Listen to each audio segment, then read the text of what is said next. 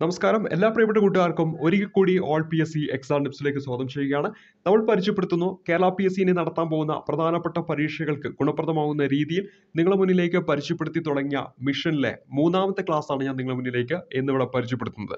കഴിഞ്ഞ വീഡിയോ ക്ലാസ്സിലൂടെ നമ്മൾ തുടക്കം കുറിച്ചത് ലോകത്തെ സ്വാധീനിക്കുന്ന വിപ്ലവങ്ങൾ എന്ന് പറയുന്ന നമ്മുടെ സിലബസിൽ കൃത്യമായിട്ട് എടുത്തു പറയുന്ന ഒരു ടോപ്പിക്ക് നമ്മുടെ S C R T text ബുക്കിൽ എന്തെല്ലാം കാര്യങ്ങളാണ് ആ ഒരു ടോപ്പിക് ബേസ് ചെയ്തുകൊണ്ട് പറഞ്ഞിരിക്കുന്നതെന്ന് പരിചയപ്പെടുത്തിക്കൊണ്ടായിരുന്നു ഈ ഒരു മിഷൻ നമ്മൾ തുടക്കം കുറിച്ചത്. അതിലൊന്നാമതായിട്ട് നമ്മൾ അമേരിക്കൻ സ്വാതന്ത്ര്യ സമരവുമായി ബന്ധപ്പെട്ട കാര്യങ്ങൾ പരിചയപ്പെടുത്തി. ആദ്യത്തെ വീഡിയോ ക്ലാസ്സിൽ S C R T text ബുക്കിൽ ആ ഒരു പാഠത്തിൽ പറഞ്ഞ കാര്യങ്ങൾ നമ്മൾ പരിചയപ്പെടുത്തി. അതിനുശേഷം അതുമായിട്ട് ബന്ധപ്പെട്ട് ചോദിക്കാൻ സാധ്യതയുള്ള കുറച്ച് ചോദ്യങ്ങൾ രണ്ടാമതൊരു വീഡിയോ ക്ലാസ്സിലൂടെയും പരിചയപ്പെടുത്തി. മൂന്നാമതായിട്ട് നമ്മൾ പരിചയപ്പെടുത്തുന്നത് ആ ഒരു ചാപ്റ്ററിൽ തന്നെ പറഞ്ഞു പോകുന്ന ഫ്രഞ്ച് വിപ്ലവവുമായിട്ട് ബന്ധപ്പെട്ട കാര്യങ്ങളാണ്. നമ്മുടെ സിലബസിൽ കൃത്യമായിട്ട് എടുത്തു പറയുന്ന ഒരു ടോപ്പിക്കാണ് ഫ്രഞ്ച് വിപ്ലവം എന്ന് പറയുന്നത്. നമുക്ക് നോക്കാം എന്തെല്ലാം കാര്യങ്ങളാണ് എസ് സി ആർ ടി ബുക്കിൽ ഒരു പി എസ് സി പരീക്ഷയെ സംബന്ധിച്ചിടത്തോളം അറിഞ്ഞിരിക്കേണ്ട പ്രധാനപ്പെട്ട പോയിന്റുകൾ എന്തൊക്കെയാണ്? ഈ ഒരു ചാപ്റ്ററിൽ ഫ്രഞ്ച് വിപ്ലവവുമായിട്ട് ബന്ധപ്പെടുത്തിയുള്ളത് നമുക്കൊന്ന് പരിശോധിക്കാം. അപ്പോൾ ഇന്നത്തെ വീഡിയോ ക്ലാസ് നമ്മൾ ആരംഭിക്കുകയാണ്. നമ്മുടെ ടോപ്പിക് എന്ന് പറയുന്നത് ഫ്രഞ്ച് വിപ്ലവമാണ്. ഫ്രഞ്ച് വിപ്ലവവുമായി ബന്ധപ്പെട്ട് ഈ ഒരു പാഠത്തിൽ പറഞ്ഞു തുടങ്ങുന്നത് ഇത്തരത്തിലുള്ള മൂന്ന് പ്രധാനപ്പെട്ട വ്യക്തികളുടെ വാക്കുകളിലൂടെയാണ്. ഞാനാണ് രാഷ്ട്രം രാജാവിന്റെ അധികാരങ്ങളെല്ലാം ദൈവം നൽകിയതാണ്. അതിനാൽ രാജാവിനെ ചോദ്യം ചെയ്യാൻ ദൈവത്തിനു മാത്രമേ അധികാരമുള്ളൂ എന്ന് പറഞ്ഞ ലൂയി പതിനാലാമൻ എനിക്ക് ശേഷം പ്രളയം എന്ന് പറഞ്ഞ ലൂയി പതിനഞ്ചാമൻ നിങ്ങൾക്ക് റൊട്ടിയില്ലെങ്കിൽ എന്താ കേക്ക് തിന്നുകൂടെ എന്ന് പറഞ്ഞ മേരി ആന്റോയിലറ്റ് ഈ മൂന്ന് പ്രസിദ്ധമായിട്ടുള്ള വാക്കുകൾ. പി എസ് സി പരീക്ഷകൾക്ക് ഈ വാക്കുകൾ ഡയറക്റ്റ് തന്നിട്ട് ആരുടെ വാക്കുകൾ എന്ന തരത്തിലുള്ള ചോദ്യങ്ങൾ നമുക്ക് പ്രതീക്ഷിക്കാവുന്നതാണ്. ഒപ്പം ഇവിടെ തന്നിരിക്കുന്ന ഈ ഒരു പിക്ചറിൽ ഒരു കൊട്ടാരത്തിന്റെ പിക്ചർ ഉണ്ട്. അതാണ് വേഴ്സായി കൊട്ടാരം. ഫ്രഞ്ച് ഭരണത്തിന്റെ അധികാര കേന്ദ്രമാണ് വേഴ്സായി കൊട്ടാരം എന്ന് പറയുന്ന ഫ്രാൻസിലാണ് ഇത് സ്ഥിതി ചെയ്യുന്നത്. വേഴ്സായി കൊട്ടാരം എവിടെ സ്ഥിതി ചെയ്യുന്നു? എന്ന് ചോദിച്ച ഉത്തരമായിട്ട് വരിക ഫ്രാൻസ് ആണ് അപ്പോൾ ഈ മൂന്ന് പ്രധാനപ്പെട്ട വാക്കുകൾ ലൂയി പതിനാലാമന്റെയും ലൂയി പതിനഞ്ചാമന്റെയും ഒപ്പം മേരി ആന്റോയിനറ്റിന്റെയും വാക്കുകൾ. ഈ ഒരു പാഠത്തിൽ തുടർന്ന് ചർച്ച ചെയ്യുന്നത് ഈ മൂന്ന് വാക്കുകളിൽ നിന്ന് നിങ്ങൾക്ക് ആ കാലഘട്ടത്തിലെ ഫ്രാൻസിലെ സാഹചര്യങ്ങൾ എന്താണെന്നാണ് മനസ്സിലാകുന്നത് എന്ന് ചോദിച്ചുകൊണ്ടാണ് ഈ പാഠം പിന്നീട് മുന്നോട്ട് പോകുന്നത്. അവിടെ നിന്നും ഇതിൽ പറഞ്ഞിരിക്കുന്ന മൂന്ന് പ്രധാനപ്പെട്ട സാഹചര്യങ്ങൾ. ആ ഒരു കാലഘട്ടത്തിൽ ഫ്രഞ്ച് സമൂഹത്തിലുണ്ടായിരുന്ന പ്രധാനപ്പെട്ട മൂന്ന് സാഹചര്യങ്ങൾ നമുക്ക് മനസ്സിലാവുന്നത്. ഒന്നെന്ന് പറയുന്നത് ഒരു ഏകാധിപത്യ ഭരണമാണ് നിലനിന്നിരുന്നത്. ഒപ്പം ഭരണാധികാരികൾ ധൂർത്തന്മാരായിരുന്നു എന്ന ഒരു കാര്യം കൂടെ നമുക്ക് മനസ്സിലാക്കാൻ പറ്റും. സ്വാഭാവികമായിട്ടും ഫ്രാൻസിലെ ഭൂരിഭാഗം ജനങ്ങളും ദുരിതത്തിലായിരുന്നു എന്ന കാര്യം ഓർത്തിരിക്കുക. തുടർന്ന് ഈ പാഠത്തിൽ ചർച്ച ചെയ്യുന്നത് ഫ്രഞ്ച് സമൂഹത്തെ മൂന്ന് തട്ടുകളായി തിരിച്ചിരിക്കുന്നു എന്ന് പറഞ്ഞു. അവയെ എസ്റ്റേറ്റുകൾ എന്ന പേരിലാണ് അറിയപ്പെട്ടിരുന്നത്. ഒന്നാമത്തെ എസ്റ്റേറ്റ് രണ്ടാമത്തെ എസ്റ്റേറ്റ് മൂന്നാമത്തെ എസ്റ്റേറ്റ് എന്നിങ്ങനെ മൂന്ന് എസ്റ്റേറ്റുകളായിട്ട് ഫ്രഞ്ച് സമൂഹത്തെ തരംതിരിച്ചിട്ടുണ്ടായിരുന്നു. ഇതിൽ ഒന്നാമത്തെ എസ്റ്റേറ്റിൽ പുരോഹിതന്മാരായിരുന്നു ഉൾപ്പെട്ടിരുന്നത്. ഒന്നാമത്തെ എസ്റ്റേറ്റിൽ പെട്ടിരുന്നവർക്ക് ധാരാളം ഭൂപ്രദേശം കൈവശം വെച്ചിരുന്നവരായിരുന്നു. കർഷകരിൽ നിന്ന് തിതേ എന്ന പേരിലുള്ള നികുതി പിരിച്ചിരുന്നു. എല്ലാത്തരം നികുതികളിൽ നിന്നും ഒഴിവാക്കപ്പെട്ടിരുന്നു. ഭരണത്തിലെയും സൈന്യത്തിലെയും ഉയർന്ന പദവികൾ നിയന്ത്രിച്ചിരുന്നവരുമായിരുന്നു ഒന്നാമത്തെ എസ്റ്റേറ്റിൽ പെട്ടിരുന്നവർ. രണ്ടാമത്തെ എസ്റ്റേറ്റിലേക്ക് വരുമ്പോൾ അവിടെ ഉണ്ടായിരുന്നത് പ്രഭുക്കന്മാരായിരുന്നു. ഇവർ സൈനിക സേവനം നടത്തി കർഷകരിൽ നിന്ന് പലതരം നികുതികൾ പിരിച്ചു വേതനം നൽകാതെ കർഷകരെ കൊണ്ട് പണിയെടുപ്പിച്ചു നികുതികളിൽ നിന്ന് ഒഴിവാക്കപ്പെട്ടിരുന്നു ആഡംബര ജീവിതം നയിച്ചിരുന്നു വിശാലമായ ഭൂപ്രദേശം കൈവശം വെച്ചിരുന്നു എന്നിവരാണ് രണ്ടാമത്തെ എസ്റ്റേറ്റിൽ പെടുന്ന പ്രഭുക്കന്മാർ മൂന്നാമത്തെ എസ്റ്റേറ്റിലാണ് സാധാരണക്കാരായിട്ടുള്ള ആൾക്കാരെല്ലാം ഉൾപ്പെട്ടിരുന്നത്. കച്ചവടക്കാർ എഴുത്തുകാർ അഭിഭാഷകർ ഉദ്യോഗസ്ഥർ അധ്യാപകർ ബാങ്കർമാർ എന്നിവരടങ്ങിയ മധ്യവർഗവും കർഷകർ കൈത്തൊഴിലുകാർ എന്നിവരൊക്കെ ഉൾപ്പെട്ടിരുന്നത് മൂന്നാമത്തെ എസ്റ്റേറ്റിലാണ്. ഇവർ ഭരണത്തിൽ ഒരു അവകാശവും ഇവർക്കുണ്ടായിരുന്നില്ല. തൈലോ എന്ന പേരിലുള്ള ഭൂനികുതി സർക്കാർ നൽകിയിരുന്നു. താഴ്ന്ന സാമൂഹിക പദവി പ്രഭുക്കന്മാർക്കും പുരോഹിതന്മാർക്കും നികുതി നൽകണം എന്നതൊക്കെയായിരുന്നു മൂന്നാമത്തെ എസ്റ്റേറ്റിൽ പെട്ടിരുന്നവരുടെ പ്രത്യേകത. ഇത്തരത്തിൽ ഒന്ന് രണ്ട് മൂന്ന് എന്നിങ്ങനെ മൂന്ന് എസ്റ്റേറ്റുകളായിട്ട് ഫ്രഞ്ച് സമൂഹത്തെ ആ കാലയളവിൽ ഇത്തരത്തിൽ മൂന്നായിട്ട് തരംതിരിച്ചിട്ടുണ്ടായിരുന്നു എന്ന കാര്യം ഓർത്തിരിക്കുക. ഫ്രാൻസിൽ നിലനിന്ന അസമത്വങ്ങളെയും ചൂഷണത്തെയും കുറിച്ച് ജനങ്ങളെ ബോധവാന്മാരാക്കുന്നതിൽ അക്കാലത്തെ ചിന്തകരെയും അവരുടെ ആശയങ്ങളെയും സംഭാവനകളെയും ആണ് തുടർന്ന് ഈ പാഠത്തിൽ പരിചയപ്പെടുന്നത്. പ്രധാനമായ മൂന്ന് വ്യക്തികൾ വോൾട്ടയർ റൂസോ മൊണ്ടസ്ക്യൂ പുരോഹിതന്മാരുടെ ചൂഷണത്തെ പരിഹസിച്ചും യുക്തിചിന്ത സമത്വം മനുഷ്യസ്നേഹം എന്നിവ പ്രോത്സാഹിപ്പിച്ച വ്യക്തിയാണ് വോൾട്ടയർ സ്വതന്ത്രമായി ജനിക്കുന്ന മനുഷ്യൻ എവിടെയും ചങ്ങനയിലാണ് എന്ന പ്രസ്താവനയിലൂടെ സ്വാതന്ത്ര്യത്തിന്റെ പ്രാധാന്യം വ്യക്തമാക്കി റൂസോ. റൂസോയുടെ പ്രസിദ്ധമായ ഒരു പ്രസ്താവന ഓർക്കുക സ്വാതന്ത്ര്യമായി ജനിക്കുന്ന മനുഷ്യൻ എവിടെയും ചങ്ങലയിലാണ് അതേപോലെ ജനങ്ങളാണ് പരമാധികാരി എന്ന് പ്രഖ്യാപിച്ചു റൂസോ. രണ്ട് പ്രധാനപ്പെട്ട പോയിന്റുകൾ. സ്വാതന്ത്ര്യമായി ജനിക്കുന്ന മനുഷ്യൻ എവിടെയും ചങ്ങലയിലാണ്. ജനങ്ങളാണ് പരമാധികാരി എന്ന് പ്രഖ്യാപിച്ച വ്യക്തി റൂസോ ആണെന്ന കാര്യം ഓർക്കുക. ഒപ്പം മൊണ്ടസ്ക്യു ജനാധിപത്യത്തെയും റിപ്പബ്ലിക്കിനെയും പ്രോത്സാഹിപ്പിച്ചു. ഗവൺമെന്റിനെ നിയമനിർമ്മാണം അതുപോലെ തന്നെ കാര്യനിർവഹണം നീതിന്യായം എന്നീ വിഭാഗങ്ങളായിട്ട് തിരിക്കണമെന്ന് വാദിച്ച വ്യക്തിയും കൂടിയായിരുന്നു മൊണ്ടസ്ക്യു. ഇത്തരത്തിൽ ഈ മൂന്ന് വ്യക്തികളുടെ അവർ പറഞ്ഞ വിവിധ വാക്കുകൾ ഫ്രഞ്ച് സമൂഹത്തെ ആ കാലയളവിൽ എങ്ങനെ സ്വാധീനിച്ചു എന്നതുമായിട്ട് ബന്ധപ്പെട്ട് ഈ മൂന്ന് കാര്യങ്ങൾ ചർച്ച ചെയ്തുകൊണ്ടാണ് ഈ പാഠം പിന്നീട് മുന്നോട്ട് പോയത്. തുടർന്ന് ഫ്രഞ്ച് വിപ്ലവത്തിലേക്ക് പ്രവേശിക്കുകയാണ് പാഠം. അതിനുള്ള സാഹചര്യങ്ങളാണ് ആദ്യം പറയുന്നത്. ഫ്രാൻസിലെ രാജാക്കന്മാർ പുരോഹിതന്മാർ പ്രഭുക്കന്മാർ നയിച്ച ആഡംബര ജീവിതം ദൂർത്ത് ഒപ്പം മറ്റ് നാടുകളുമായിട്ടുള്ള യുദ്ധങ്ങൾ എന്നിവ വരൾച്ചയും കൃഷിനാശവും ഫ്രാൻസിന്റെ സാമ്പത്തിക സ്ഥിതി ഗുരുതരമാക്കി. ഫ്രാൻസിലെ രാജാക്കന്മാർ പുരോഹിതന്മാരും പ്രഭുക്കന്മാരും ഒക്കെ നയിച്ച ആഡംബര ജീവിതവും മറ്റു പ്രദേശങ്ങളുമായിട്ടൊക്കെ ഉണ്ടായ യുദ്ധങ്ങളും ഒപ്പം അവിടെ ഉണ്ടായ വരൾച്ച അതുപോലെ തന്നെ കൃഷിനാശവും ഒക്കെ ഫ്രാൻസിന് സാമ്പത്തികമായിട്ട് ഗുരുതരമായ ഒരു അവസ്ഥയിലേക്ക് എത്തിച്ചേർത്തു. സ്വാഭാവികമായും ഇത്തരത്തിലൊരു അവസ്ഥയിലേക്ക് വരുമ്പോൾ ഒരു സർക്കാർ എന്താ ചിന്തിക്കുക? ജനങ്ങളുടെ മേൽ പുതിയ നികുതികൾ ഏർപ്പാട് ചെയ്യുക. ഇത്തരത്തിൽ ജനങ്ങളുടെ മേൽ പുതിയ നികുതികൾ ചുമത്തുന്നതിനായിട്ട് ആയിരത്തി എഴുന്നൂറ്റി എൺപത്തി ഒമ്പതിൽ ചക്രവർത്തി ലൂയി പതിനാറാമൻ ജനപ്രതിനിധി സഭയായ സ്റ്റേറ്റ് ജനറലെ വിളിച്ചു ചേർത്തു. അപ്പോൾ ജനപ്രതിനിധി സഭയാണ് സ്റ്റേറ്റ് ജനറൽ എന്ന പേരിൽ അറിയപ്പെടുന്നത്. അങ്ങനെ ഇത്തരത്തിൽ പുതിയ പുതിയ നികുതികളൊക്കെ ജനങ്ങളുടെ മേലെ ചേർക്കാൻ വേണ്ടിയിട്ട് അദ്ദേഹം എന്ത് ചെയ്യുന്നു? ലൂയി പതിനാറാമൻ എന്ത് ചെയ്തു? സ്റ്റേറ്റ് ജനറലിനെ വിളിച്ചു ചേർക്കുന്നു. ഈ സ്റ്റേറ്റ് ജനറലിന്റെ ഒരു പ്രത്യേകത എന്ന് പറയുന്നത് അതിനെയും മൂന്ന് എസ്റ്റേറ്റുകളായിട്ട് തരം തിരിച്ചിട്ടുണ്ടായിരുന്നു. ഈ മൂന്ന് എസ്റ്റേറ്റുകളിൽ ഓരോ എസ്റ്റേറ്റിനും ഓരോ വോട്ട് മതിയെന്ന് ഈ രാജാവിനെ അനുകൂലിക്കുന്ന ആദ്യത്തെ രണ്ട് എസ്റ്റേറ്റുകാർ വാദിച്ചു. ഇത്തരത്തിൽ വാദിക്കുവാനുള്ള ഒരു കാരണമെന്ന് പറയുന്നത് അതുവരെ അവിടെ നിന്ന് നിന്നിരുന്നത് എങ്ങനെയായിരുന്നു? ഓരോ എസ്റ്റേറ്റിൽപ്പെട്ട ഓരോ അംഗത്തിനും എന്തുണ്ടായിരുന്നു? വോട്ട് വോട്ടവകാശമുണ്ടായിരുന്നു. എന്നാൽ അതിന് വേണ്ട മറിച്ച് എന്ത് മതി? മൂന്ന് എസ്റ്റേറ്റുകൾക്ക് ഓരോ വോട്ട് വീതം മതി എന്ന് പറഞ്ഞു. അപ്പോൾ ഇവിടെ ഒന്നാമത്തെ എസ്റ്റേറ്റിലെ അംഗങ്ങളും രണ്ടാമത്തെ എസ്റ്റേറ്റിലെ അംഗങ്ങളും കൂട്ടിയാൽ മൂന്നാമത്തെ എസ്റ്റേറ്റുകളുടെ അംഗങ്ങളുടെ അത്ര പോലും എത്തത്തില്ല. സ്വാഭാവികമായിട്ടും മൂന്നാമത്തെ എസ്റ്റേറ്റിൽ പെടുന്നത് നാല എന്താണ് സാധാരണക്കാരായിട്ടുള്ള വ്യക്തികളാണ്. അവരുടെ മേൽ നികുതി ചുമത്തുകയാണ്. അവരുടെ മേൽ കൂടുതൽ കൂടുതൽ ദുരിതത്തിലേക്ക് എത്തിക്കുകയാണ്. സ്വാഭാവികമായിട്ടും അവരതിനെ എതിർക്കുമെന്ന് നിനക്കറിയാം. അപ്പോൾ ഈ ഒന്നാമത്തെയും രണ്ടാമത്തെയും എസ്റ്റേറ്റുകാരെന്ത് പറഞ്ഞു? ഓരോ എസ്റ്റേറ്റിനും ഓരോ വോട്ട് മതി എന്ന് പറഞ്ഞു. അങ്ങനെയാണെങ്കിൽ എന്ത് ചെയ്യും? ഭൂരിപക്ഷം ആർക്ക് കിട്ടും? ഇത്തരത്തിലുള്ള മേലെ ഉള്ള ഈ രണ്ട് എസ്റ്റേറ്റുകൾ അവരെന്താണോ തീരുമാനിക്കുന്ന കാര്യങ്ങൾ അതിലേക്ക് ഭൂരിപക്ഷം പോകും. പക്ഷെ ഓരോ വ്യക്തികൾക്കും ഓരോ വോട്ട് വീതം വന്നാൽ മൂന്നാമത്തെ എസ്റ്റേറ്റിലാണ് ആൾക്കാർ കൂടുതലുള്ളത്. അതുകൊണ്ട് തന്നെ മൂന്നാമത്തെ എസ്റ്റേറ്റ് പറയുന്നതായിരിക്കും കാര്യങ്ങൾ നടപ്പിലാക്കുക. അപ്പോൾ ഇത്തരത്തിലൊരു വാക്ക് ഓരോ എസ്റ്റേറ്റിനും ഓരോ വോട്ട് മതി എന്ന് പറഞ്ഞ ഈ ഒരു കാര്യത്തെ മൂന്നാമത്തെ എസ്റ്റേറ്റ് അവരെ വിളിക്കുന്ന പേരാണ് കോമൺസ് എന്നാണ് അവരെ വിളിക്കുന്നത്. ഈ മൂന്നാമത്തെ എസ്റ്റേറ്റിനെ വിളിക്കുന്ന പേരാണ് കോമൺസ്. അവരെന്ത് പറയുന്നു? അവർ ഈ ഒരു കാര്യത്തെ എന്ത് ചെയ്യുന്നു? അവർ എതിർക്കുന്നു. പോരാതെ മൂന്നാമത്തെ എസ്റ്റേറ്റിലുള്ളവർക്കറിയാം അവരാണ് എന്ത് അംഗബലത്തിൽ ഏറ്റവും കൂടുതലുള്ളത്. അതുകൊണ്ട് തന്നെ മൂന്നാമത്തെ എസ്റ്റേറ്റിലെ അംഗങ്ങൾ താങ്കളാണ് ഫ്രാൻസിലെ ദേശീയ അസംബ്ലി എന്ന് അവർ പ്രഖ്യാപിക്കുകയും ചെയ്തു. അംഗബലം കൂടുതൽ അവർക്കാണ്. അതുകൊണ്ട് അവരാണ് ദേശീയ അസംബ്ലി എന്ന് പ്രഖ്യാപിക്കുകയും ചെയ്തു.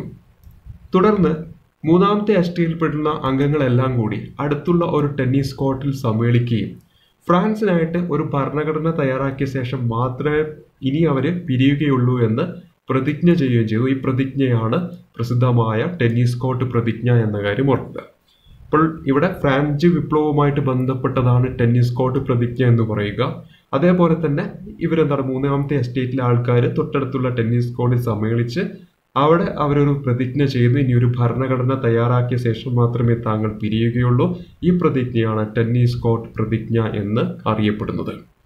തുടർന്ന് ഫ്രാൻസിൽ സംഭവിച്ച പ്രധാനപ്പെട്ട സംഭവങ്ങളുടെ ഒരു പട്ടികയാണ് ഈ പാഠത്തിൽ നൽകിയിരിക്കുന്നത്. ആയിരത്തി എഴുന്നൂറ്റി എൺപത്തി ഒമ്പത് ജൂലൈ പതിനാലാം തീയതിയാണ് സ്വാതന്ത്ര്യം സമത്വം സഹോദര്യം ലിബർട്ടി ഇക്വാലിറ്റി ആൻഡ് ഫ്രട്ടേണിറ്റി എന്നീ മുദ്രാവാക്യങ്ങൾ മുഴക്കിക്കൊണ്ട് വിപ്ലവകാരികൾ ബുർബൻ രാജവാഴ്ചയുടെ പ്രതീകമായിരുന്ന ബാസ്റ്റിൽ ജയിൽ തകർത്തു. ഇതിനെ ഫ്രഞ്ച് വിപ്ലവത്തിന്റെ ആരംഭമായി കണക്കാക്കുന്നു എന്ന കാര്യം ഓർക്കുക. ഇവിടെ പ്രധാനമായിട്ടും സ്വാതന്ത്ര്യം സമത്വം സഹോദര്യം ലിബേർട്ടി ഇക്വാലിറ്റി ആൻഡ് ഫട്ടേണിറ്റി എന്നീ മുദ്രാവാക്യങ്ങൾ എന്തോ ഏത് വിപ്ലവവുമായി ബന്ധപ്പെട്ടിരിക്കുന്നു എന്ന് ചോദിച്ചാൽ ഫ്രഞ്ച് വിപ്ലവം. ഇന്ത്യൻ ഭരണഘടനയിലെ ആമുഖത്തിലേക്ക് കടംകൊണ്ടിരിക്കുന്ന മൂന്ന് പ്രധാനപ്പെട്ട വാക്കുകളാണ് സ്വാതന്ത്ര്യം സമത്വം സഹോദര്യം എന്ന് പറയുന്നത് നമ്മൾ പഠിച്ചിട്ടുണ്ട്. ഫ്രഞ്ച് ഫ്രാൻസിലെ ഭരണഘടനയിൽ നിന്നാണ് നമ്മൾ ഇത് കടംകൊണ്ടിരിക്കുന്നത് അത് എവിടെ മുഴങ്ങിക്കേണ്ടതാണ്? ഫ്രഞ്ച് വിപ്ലവവുമായി ബന്ധപ്പെട്ട മുദ്രാവാക്യങ്ങളായിരുന്നു സ്വാതന്ത്ര്യം സമത്വം സഹോദര്യം എന്ന കാര്യം ഓർത്തിരിക്കുക. തുടർന്ന് ആയിരത്തി എഴുന്നൂറ്റി എൺപത്തി ഒമ്പത് ആഗസ്റ്റ് പന്ത്രണ്ടിനാണ് ദേശീയ അസംബ്ലി മനുഷ്യാവകാശ പ്രഖ്യാപനം പാസാക്കുന്നതെന്ന കാര്യം ഓർക്കുക. ആയിരത്തി എഴുന്നൂറ്റി എൺപത്തി ഒമ്പത് ഒക്ടോബറിൽ പാരീസ് നഗരത്തിലെ ആയിരക്കണക്കിന് സ്ത്രീകൾ ഭക്ഷണം വേണമെന്ന മുദ്രാവാക്യവുമായിട്ട് വേഴ്സായി കൊട്ടാരത്തിലേക്ക് പ്രകടനം നടത്തുന്നു. ആയിരത്തി എഴുന്നൂറ്റി തൊണ്ണൂറ്റി രണ്ട് സെപ്റ്റംബർ മാസത്തിലാണ് പുതുതായി രൂപീകരിച്ച ഭരണഘടന അനുസരിച്ച് തിരഞ്ഞെടുക്കപ്പെട്ട ദേശീയ കൺവെൻഷൻ ഫ്രാൻസിനെ ഒരു റിപ്പബ്ലിക്കായിട്ട് പ്രഖ്യാപിക്കുന്നത് എന്ന കാര്യം കൂടി ഓർത്തിരിക്കുക. അങ്ങനെ ആയിരത്തി എഴുന്നൂറ്റി തൊണ്ണൂറ്റി രണ്ട് സെപ്റ്റംബർ മാസത്തിൽ ഫ്രാൻസ് ഉണ്ടാകുന്നു ഒരു റിപ്പബ്ലിക്കായി മാറുന്നു എന്ന കാര്യം ഓർത്തിരിക്കുക തുടർന്ന് ഈ ഒരു പാഠത്ത് ചർച്ച ചെയ്യുന്നത് ഒരു പ്രസിദ്ധമായിട്ടുള്ള ഒരു അഭിപ്രായമാണ്. ഫ്രാൻസ് തുമ്മിയാൽ യൂറോപ്പിനാകെ ജലദോഷം പിടിക്കുമെന്ന് പറഞ്ഞ ആസ്ട്രിയൻ ഭരണാധികാരിയായിരുന്ന മെറ്റാർണിക്കിന്റെ പ്രസിദ്ധമായിട്ടുള്ള അഭിപ്രായം. അദ്ദേഹം ഇങ്ങനെ ഒരു അഭിപ്രായം പറയാൻ കാരണം ഫ്രഞ്ച് വിപ്ലവം നൽകിയ പല ആശയങ്ങളും പിൽക്കാലത്ത് ലോകത്തുണ്ടായ എല്ലാ വിപ്ലവങ്ങൾക്കും ആവേശം പകർന്നിട്ടുണ്ട്. പ്രത്യേകിച്ചും അദ്ദേഹം ആ കാലഘട്ടത്തിൽ പറയുമ്പോൾ യൂറോപ്പിനെ മറ്റ് പ്രദേശങ്ങളിലേക്കും ഫ്രഞ്ച് വിപ്ലവത്തിന്റെ ആശയങ്ങൾ എന്ത് ചെയ്തിട്ടുണ്ട്? വ്യാപിച്ചിട്ടുണ്ട്. അത് അവരെ സ്വാതന്ത്ര്യത്തിലേക്ക് നയിക്കുന്നതിൽ വളരെയധികം സ്വാധീനം ചെലുത്തിയിട്ടുമുണ്ട് ഇവിടെ യൂറോപ്പിൽ ഫ്യൂഡൽ വ്യവസ്ഥയുടെ അന്ത്യം കുരുക്കുകയും സ്വേച്ഛാധിപത്യ ഭരണകൂടങ്ങൾക്ക് ഭീഷണിയാവുകയും ചെയ്തു ഫ്രഞ്ച് വിപ്ലവത്തിന്റെ സ്വാധീനങ്ങൾ. ഒപ്പം രാജ്യമെന്നാൽ പ്രത്യക്ഷമുള്ള രാജ്യത്തെ ജനങ്ങളാണെന്ന് പ്രഖ്യാപിച്ചു. ജനകീയ പരമാധികാരം എന്ന ആശയം മനുഷ്യരാശിക്ക് നൽകിയത് ഫ്രഞ്ച് വിപ്ലവമാണ്. ദേശീയതയുടെ ആവിർഭാവത്തിന് വഴിയൊരുക്കി മധ്യവർഗത്തിന്റെ വളർച്ചയെ സഹായിച്ചു. ഒപ്പം സ്വാതന്ത്ര്യം സമത്വം സഹോദര്യം എന്ന ആശയത്തിന്റെ പ്രചാരണം വരെ എന്തിൽ നിന്നായിരുന്നു? ഫ്രഞ്ച് വിപ്ലവത്തിൽ നിന്നായിരുന്നു. അതുകൊണ്ട് തന്നെയാണ് ഇദ്ദേഹം ഫ്രാൻസ് തുമ്മിയാൽ യൂറോപ്പിനാകെ ജലദോഷം പിടിക്കും എന്ന് പറയുന്ന മെറ്റോർണിക്കിന്റെ അഭിപ്രായവും ഫ്രഞ്ച് വിപ്ലവത്തുമായിട്ട് ബന്ധപ്പെട്ടെടുക്കുമ്പോൾ വളരെയധികം സ്വാധീനം ചെലുത്തിയിട്ടുണ്ട്. ഫ്രഞ്ച് വിപ്ലവം പിൽക്കാലത്ത് ലോകത്തുണ്ടായ എല്ലാ വിപ്ലവങ്ങൾക്കും എന്ന് നമുക്ക് മനസ്സിലാക്കാൻ കഴിയും. തുടർന്ന് ഫ്രഞ്ച് വിപ്ലവം ഇന്ത്യയുമായി ബന്ധപ്പെട്ട് എന്ന് പറഞ്ഞുകൊണ്ട് ഒരു ഭാഗവും ഈ പാഠത്തിൽ ചർച്ച ചെയ്യുന്നുണ്ട്. മൈസൂരിലെ ഭരണാധികാരിയായിരുന്ന ടിപ്പു സുൽത്താനെയും സ്വാധീനിച്ചു ഫ്രഞ്ച് വിപ്ലവം എന്നാണ് പറയുന്നത്. ബ്രിട്ടീഷ് സാമ്രാജ്യത്തിന്റെ എതിരായിട്ട് പോരാടാനുള്ള ഒരു തന്ത്രമായിട്ട് ടിപ്പു ഫ്രഞ്ചുകാരുമായിട്ടുള്ള സഖ്യത്തെ കണക്കാക്കി ഇതുമൂലം. പൗരനായ ടിപ്പു സിറ്റിസൺ ടിപ്പു എന്ന പേര് സ്വീകരിച്ച അദ്ദേഹം ഫ്രഞ്ച് വിപ്ലവത്തിന്റെ ഓർമ്മയ്ക്കായിട്ട് തന്റെ തലസ്ഥാനമായ ശ്രീരംഗപട്ടണത്ത് സ്വാതന്ത്ര്യത്തിന്റെ മരം ട്രീറ്റി ഓഫ് ലിബർട്ടി നടുകയും ഫ്രഞ്ച് ക്ലബായ ജാക്കോബിനിൽ അംഗമാവുകയും ചെയ്തു. ഇത് പി എസ് സിയിലൊക്കെ ചോദിക്കാറുള്ള ഒരു ചോദ്യമാണ്. ഇവിടെ ശ്രീരംഗപട്ടണം എന്ന് പറയുന്ന അദ്ദേഹത്തിന്റെ തലസ്ഥാനമാണ്. അവിടെയാണ് അദ്ദേഹം ഫ്രഞ്ച് വിപ്ലവത്തെ സ്വാധീനം ചെലുത്തിക്കൊണ്ട് ഫ്രഞ്ച് വിപ്ലവത്തിന്റെ ഓർമ്മയ്ക്കായിട്ട് അദ്ദേഹം സ്വാതന്ത്ര്യത്തിന്റെ മരം അല്ലെങ്കിൽ ട്രീറ്റി ഓഫ് ലിബർട്ടി നടന്നത്. ഒപ്പം അദ്ദേഹം അംഗമായത് ഫ്രഞ്ച് ക്ലബായിട്ടുള്ള ജാക്കോബിനിലാണ് എന്ന കാര്യം കൂടി ഓർത്തിരിക്കുക. തുടർന്ന് ഈ പാഠത്തിൽ പറയുന്നത് ഫ്രാൻസിലെ ദേശീയ അസംബ്ലി പാസാക്കിയ മനുഷ്യാവകാശ പ്രഖ്യാപനത്തിന്റെ കുറച്ച് ഭാഗങ്ങളാണ് ഈ ഒരു പാഠത്ത് നൽകിയിരിക്കുന്നത് ഈ ഒരു ചാപ്റ്ററിൽ നൽകിയിരിക്കുന്നത്. അതിൽ പ്രധാനമായിട്ടും പറഞ്ഞിരിക്കുന്ന കാര്യങ്ങളും അവിടെ എടുത്തു കാണിച്ചിരിക്കുന്നു. സ്വാതന്ത്ര്യത്തിനായി ജനിക്കുന്ന മനുഷ്യൻ തുല്യ അവകാശങ്ങളോടെ സ്വാതന്ത്ര്യത്തിനായി ജീവിക്കുന്നു എന്ന് പറയുന്നു. എല്ലാ രാഷ്ട്രീയ കൂട്ടായ്മകളുടെയും ലക്ഷ്യം മനുഷ്യന്റെ സ്വാഭാവികവും അവിഭാജ്യവുമായ അവകാശങ്ങൾ സംരക്ഷിക്കുക എന്നതാണ്. അവ സ്വാതന്ത്ര്യം സ്വത്ത് സുരക്ഷിതത്വം അടിച്ചമർത്തലുകളെ ചെറുക്കൽ എന്നിവയ്ക്കുള്ള അവകാശമാണ്.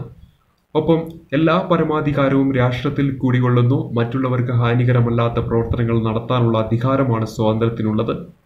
അതേപോലെ തന്നെ സമൂഹത്തിന് ഹാനികരമാകുന്ന പ്രവർത്തനങ്ങളെ വിലക്കാനുള്ള അവകാശം മാത്രമേ നിയമത്തിനുള്ളൂ എന്നൊക്കെ പ്രവചിക്കുന്നതിലാണ് ഫ്രാൻസിലെ ദേശീയ അസംബ്ലി പാസാക്കിയ മനുഷ്യാവകാശ പ്രഖ്യാപനത്തിലാണ് എന്ന കാര്യം ഓർക്കുക. ഈ മനുഷ്യാവകാശ പ്രഖ്യാപനവും റൂസോയും തമ്മിൽ വളരെയധികം ബന്ധമുണ്ട്. ഫ്രഞ്ച് ചിന്തകനായ റൂസോയുടെ ആശയങ്ങളാണ് ദേശീയ അസംബ്ലി പാസാക്കിയിട്ടുള്ള മനുഷ്യാവകാശ പ്രഖ്യാപനത്തിൽ പ്രതിഫലിക്കുന്നത് എന്ന കാര്യം ഓർക്കുക. പ്രത്യേകിച്ചും അദ്ദേഹത്തിന്റെ പ്രസിദ്ധമായ ഗ്രന്ഥമായ സോഷ്യൽ കോണ്ടാക്ട് ഇതിലെ ആശയങ്ങളൊക്കെ എന്തിൽ വന്നിട്ടുണ്ട്? ഈ പറയുന്ന മനുഷ്യാവകാശ പ്രഖ്യാപനത്തിൽ ഉൾപ്പെട്ടിട്ടുണ്ട്. ഇവിടെ പ്രധാനമായിട്ട് ഓർത്തിരിക്കുക റൂസയുടെ പ്രസിദ്ധമായിട്ടുള്ള ഗ്രന്ഥമാണ് സോഷ്യൽ കോണ്ടാക്ട് എന്ന കാര്യം ഓർത്തിരിക്കുക. അതുപോലെ അദ്ദേഹത്തിന് പ്രസിദ്ധമായിട്ടുള്ള ഒരു അഭിപ്രായം കൂടിയുണ്ട്. ഭരിക്കുന്നവരും ഭരിക്കപ്പെടുന്നവരും തമ്മിലുള്ള ഒരു സാമൂഹിക ഉടമ്പടിയുടെ ഫലമാണ് ഭരണകൂടം എന്നഭിപ്രായപ്പെട്ട ആരാന്ന് ചോദിച്ചാൽ ഉത്തരമായിട്ട് വരിക റൂസോ ആണ്. ഓർക്കുക ഭരിക്കുന്നവരും ഭരിക്കപ്പെടുന്നവരും തമ്മിലുള്ള ഒരു സാമൂഹിക ഉടമ്പടിയുടെ ഫലമാണ് ഭരണകൂടം എന്ന അഭിപ്രായപ്പെട്ട മഹത് വ്യക്തിയാണ് ആരെന്ന് പറയുന്നത്? റൂസോ എന്ന് പറയുന്നത് അദ്ദേഹത്തിന്റെ പ്രസിദ്ധമായിട്ടുള്ള ഗ്രന്ഥമാണ് സോഷ്യൽ കോൺട്രാക്ട് എന്ന കാര്യം കൂടി ഓർത്തിരിക്കുക. ഇനി നെപ്പോളിയനും ഫ്രഞ്ച് വിപ്ലവവും തമ്മിലുള്ള ബന്ധമാണ് തുടർന്ന് ഈ പാഠത്തിൽ ചർച്ച ചെയ്യുന്നത്. ഫ്രഞ്ച് വിപ്ലവത്തിന് ശേഷം ബ്രിട്ടന്റെ നേതൃത്വത്തിൽ ഫ്രാൻസിനെതിരായിട്ട് രൂപീകരിക്കപ്പെട്ട യൂറോപ്യൻ സഖ്യത്തെ നേരിട്ട് വിജയം വരിക്കുന്നതിൽ സുപ്രധാന പങ്കുവഹിച്ചത് നെപ്പോളിയനായിരുന്നു ആയിരത്തി എഴുന്നൂറ്റി തൊണ്ണൂറ്റി ഒമ്പതിൽ അദ്ദേഹം ഫ്രാൻസിന്റെ അധികാരം എന്ത് ചെയ്യുന്നു? പിടിച്ചെടുക്കുന്നു. ഫ്രഞ്ച് വിപ്ലവത്തിന് ശേഷം. ഒരു ഏകാധിപതിയായിട്ടായിരുന്നു അദ്ദേഹം പിന്നീട് ഫ്രാൻസ് ഭരിച്ചിരുന്നത്. പക്ഷെ അദ്ദേഹം പലതരത്തിലുള്ള പരിഷ്കാരങ്ങളും അദ്ദേഹം എന്ത് ചെയ്തിട്ടുണ്ട്? ഫ്രാൻസിൽ നടപ്പിലാക്കിയിട്ടുണ്ട്. ഒന്ന് കർഷകരെ കൃഷിഭൂമികളുടെ ഉടമകളാക്കി. പൊതുകടം ഇല്ലാതാക്കാൻ സിക്കിംഗ് ഫണ്ട് എന്ന പേരിൽ ഒരു പ്രത്യേക ഫണ്ട് രൂപീകരിച്ചു. ഗതാഗത പുരോഗതിക്കായി നിരവധി റോഡുകൾ നിർമ്മിച്ചു. അതുപോലെ തന്നെ പുരോഹിതന്മാരുടെ മേൽ രാജ്യത്തിന്റെ നിയന്ത്രണം ഏർപ്പെടുത്തി. സാമ്പത്തിക പ്രവർത്തനങ്ങൾക്കായി ബാങ്ക് ഓഫ് ഫ്രാൻസ് സ്ഥാപിച്ചു. അതേപോലെ നിലവിലുള്ള നിയമങ്ങൾ ക്രോഡീകരിച്ച് ഒരു പുതിയ നിയമ സംഹിത ഉണ്ടാക്കിയതൊക്കെ ആരാണ്? നെപ്പോളിയനാണ് എന്ന കാര്യം ഓർക്കുക. അപ്പോൾ ആയിരത്തി എഴുന്നൂറ്റി തൊണ്ണൂറ്റി ഒമ്പതിൽ നെപ്പോളിയൻ ഫ്രാൻസിന്റെ ഭരണം പിടിച്ചെടുക്കുന്നു. തുടർന്നൊരു ഏകാധിപതിയായിട്ടാണ് അദ്ദേഹം ഭരിച്ചിരുന്നത്. എങ്കിൽ പോലും അദ്ദേഹം നിരവധി പരിഷ്കാരങ്ങൾ നടപ്പിലാക്കി നല്ല കാര്യങ്ങളൊക്കെ ചെയ്തിട്ടുണ്ട്. ഒന്ന് കർഷകരെ കൃഷിഭൂമിയുടെ ഉടമകളാക്കി പൊതുകടം ഇല്ലാതാക്കാൻ സിക്കിംഗ് ഫണ്ട് എന്ന പേരിൽ ഒരു പ്രത്യേക ഫണ്ട് രൂപീകരിച്ചു. അതുപോലെ തന്നെ ഗതാഗത പുരോഗതിക്കായി നിരവധി റോഡുകൾ നിർമ്മിച്ചു. പുരോഹിതന്മാരുടെ മേൽ രാജ്യത്തിന്റെ നിയന്ത്രണം ഏർപ്പെടുത്തി സാമ്പത്തിക പ്രവർത്തനങ്ങൾക്കായി ബാങ്ക് ഓഫ് ഫ്രാൻസ് സ്ഥാപിച്ചു. നിലവിലുള്ള നിയമങ്ങൾ ക്രോഡീകരിച്ച ഒരു പുതിയ നിയമ സംഹിതയുണ്ടാക്കിയതൊക്കെ ആര് തന്നെയാണ്? നെപ്പോളിയനാണ് എന്ന കാര്യം ഓർക്കുക. തുടർന്ന് നെപ്പോളിയന്റെ കാലഘട്ടത്തിൽ ഫ്രാൻസിൽ എന്ത് ചെയ്യുന്നു? ദേശീയത ശക്തിപ്പെടുന്നു. കൂടാതെ അദ്ദേഹം യൂറോപ്യൻ രാജ്യങ്ങളെ ഓരോന്നായിട്ട് ആക്രമിക്കുകയൊക്കെ ചെയ്യുന്നു. ഇത് പിന്നീട് യൂറോപ്യൻ രാജ്യങ്ങൾ എല്ലാം കൂടി സംഘടിക്കുകയും ആയിരത്തി എണ്ണൂറ്റി പതിനഞ്ചിൽ നടന്ന വാട്ടർലൂ യുദ്ധത്തിൽ യൂറോപ്യൻ രാജ്യങ്ങളും നെപ്പോളിയനും തമ്മിൽ നടന്ന വാട്ടർലൂ യുദ്ധത്തിൽ യൂറോപ്യൻ സഖ്യത്തോട് പരാജയപ്പെട്ട് നെപ്പോളിയന് അധികാരം നഷ്ടപ്പെടുന്നു. ഇപ്പം നെപ്പോളിയനും അതുപോലെ തന്നെ യൂറോപ്യൻ സഖ്യ സൈന്യവും തമ്മിൽ നടന്ന യുദ്ധമാണ് വാട്ടർലൂ യുദ്ധം. ആയിരത്തി എണ്ണൂറ്റി പതിനഞ്ച് എന്നതാണെന്ന കാര്യം ഓർക്കുക.